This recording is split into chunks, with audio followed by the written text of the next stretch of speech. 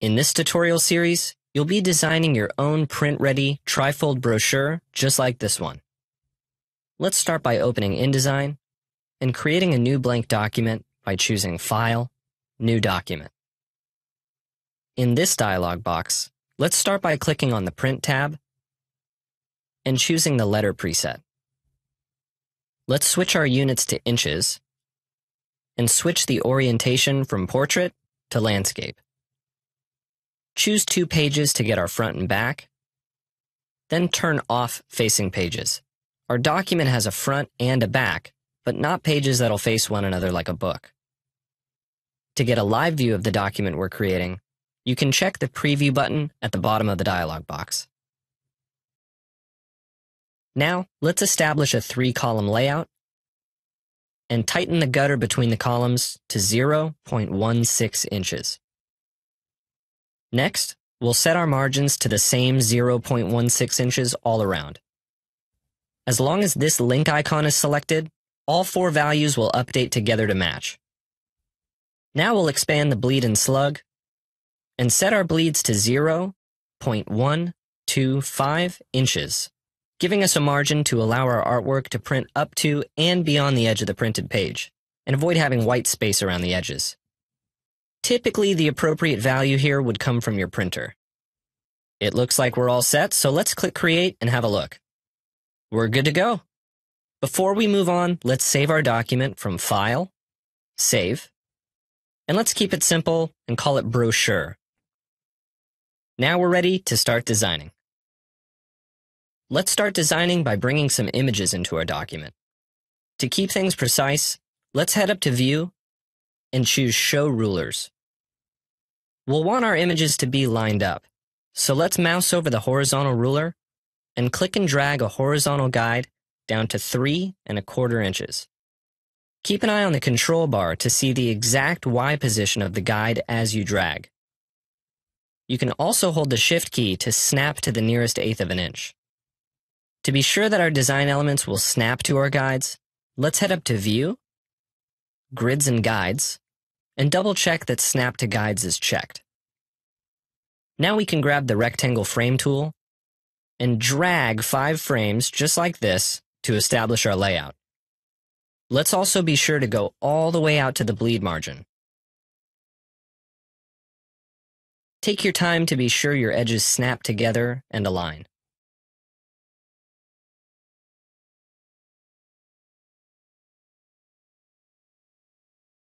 Now we're ready to start placing some images. To do so, we'll head up to File and choose Place. Select the Chair 1 image and choose Open. Now our cursor is loaded with the image, and we can click on a frame to place it. Depending on the size of the image, it may not fit and fill the frame the way we want it to. To fix this, we can click Object on the menu bar, then Fitting, followed by fill frame proportionally. Let's repeat these steps for another image. File, Place, choose Chair 2, click to place, then Object, Fitting, Fill Frame Proportionally. You'll also notice the Content Grabber donut that appears when mousing over an image. This can be clicked to select the image within the frame and access the handles to scale it. Just be sure to hold the Shift key to constrain proportions as you drag. The Content Grabber donut can also be dragged to reposition the image. Looking great so far. We just need to fill these other frames with some color. Let's start by selecting the top right frame, clicking the fill color on the control bar, and choosing black. Let's click a blank area of the canvas to deselect this box. Now to get a splash of color in here, Let's select the eyedropper tool on the toolbar. Then we'll hold the Alt or Option key and click on the green color of this chair to load the eyedropper. Then we can click each of the two remaining frames to apply the color at once. Now let's scroll down to page 2. We've got a few more images to add, so we'll head back to the rectangular frame tool on the toolbar and draw a box to fill the width of our first column toward the bottom. Now, to get two more frames of exactly the same size, hold the Alt or Option key, and drag to duplicate. Let's do this one more time. To add the images, we'll head back to File, Place. And here we can actually hold Shift to select all three images at once. And click to place them into each of our frames. Let's once again fix the fitting issue here by holding Shift to select all three images, and then returning back to Object, Fitting, Fill Frame Proportionally. We'll need to draw one last image frame at the top right for the schematic art. Let's again choose File, Place, select schematic.ai, open it, we don't want any of this image to be clipped off. So for this one, we'll choose Object, Fitting, Fit Content Proportionally. Fitting will keep the entire image scaled within the bounds of the frame. Let's save our document and move on to adding some text. Now it's time to add some text. Text can be typed into text frames created using the type tool found on the toolbar, or brought in from a text file using File, Place, or even just copied and pasted from a text document. With the Type tool selected, let's click and drag a text frame next to our canvas. This title will say Living Well is the Best Revenge. When you're done entering text, press the Escape key to commit, then click and drag the middle of the box to position it in the corner of the top right frame. Before we lose track of our text on this black box, let's double click inside, highlight the text, and change the color to white on the control bar. While we're here, let's also double check that it's left aligned. It is. Let's create another text box and type Carson. This text will be right aligned, so we'll head up to the control bar and make that change. Then press the escape key to exit the text box and move it into place on our green frame. For the rest of our body copy, I've got the text document here that's included with your project files that we can copy and paste from.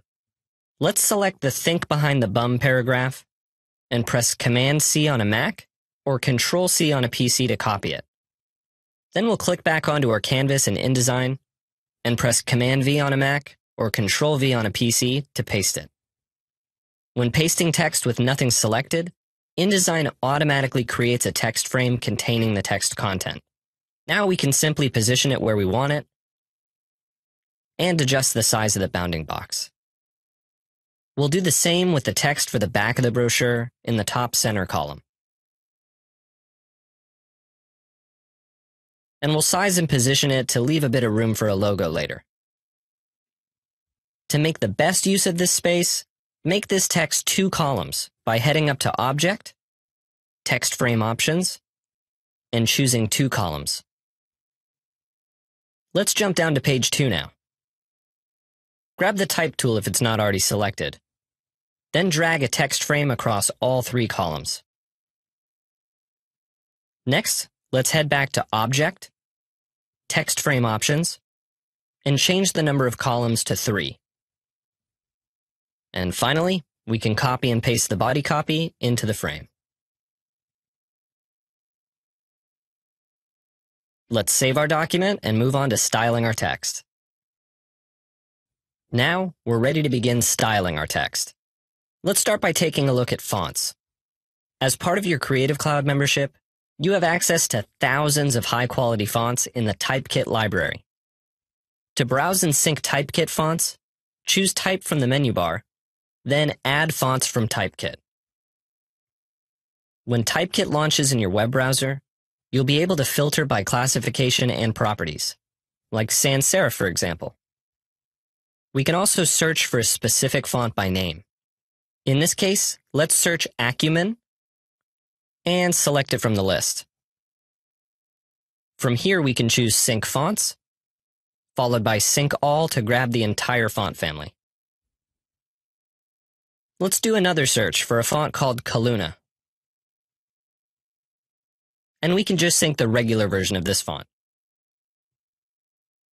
Let's head back to InDesign.